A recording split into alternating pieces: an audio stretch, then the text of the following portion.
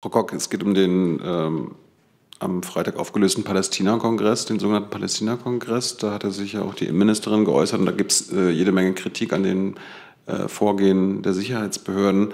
Ähm, mich würde erstmal grundsätzlich interessieren, warum die Innenministerin ähm, vor also diesem Kongress islamistische Propaganda vorgeworfen hatte und ähm, diese Menschen, die sich da versammelt haben, als islamistische Szene bezeichnet hatte, wenn doch äh, die Mitorganisation durch Juden und Jüdinnen äh, dieses Kongresses passiert ist.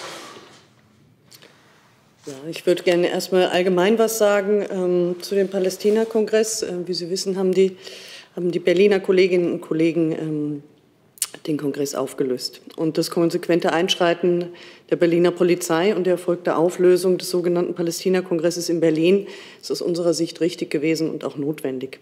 Es ist richtig, dass die Ministerin sich so geäußert hat, wie Sie das zitiert haben. Und es ist auch so, dass wer islamistische Propaganda und Hass gegen Jüdinnen und Juden verbreitet, wissen muss, dass solche Straftaten in Deutschland schnell und konsequent verfolgt werden. Antisemitische und islamistische Straftaten dulden wir nicht. Wenn die Innenministerin von islamistischen Propaganda und islamistischer Szene spricht und die Mitorganisation dieses Kongresses von Juden und Jüdinnen veranstaltet wurde, wie kommt sie darauf, das zu behaupten? Sie können davon ausgehen, dass Sie sich auf Erkenntnisse der Sicherheitsbehörden beziehen. Also die Innenministerin spricht davon, dass Juden und Jüdinnen zur islamistischen Szene hier in Deutschland gehören.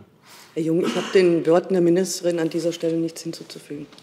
Rektor der Glasgow-Universität äh, Gaston Busita wurde äh, in Berlin ähm, nicht nach Deutschland reingelassen, als er auf, am Flughafen war und musste zurückkehren. Da wollte ich fragen, äh, was ist der Grund für seine Nicht-Einreise, dass er halt nicht nach Deutschland ein, äh, einreisen kann und äh, welche Gefahr birgt für Deutschland, dass ein Arzt, der im Gaza-Krankenhaus ähm, gearbeitet hat, ähm, die Lage dort hier in Berlin ähm, erzählt, schildert?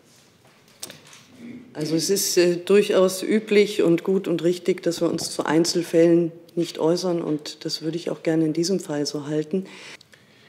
Zusatz? Ja, ein Zusatz. Auch der griechische äh, Ex-Finanzminister äh, Ex Varoufakis wurde ähm, nicht äh, also wurde verhängt äh, laut seiner Aussagen, dass er ein Einreiseverbot verhängt gegen Varoufakis. Warum denn das? Wie gesagt, ich kann Ihnen zu den einzelnen Fällen, die jetzt hier kursieren, nichts Näheres sagen.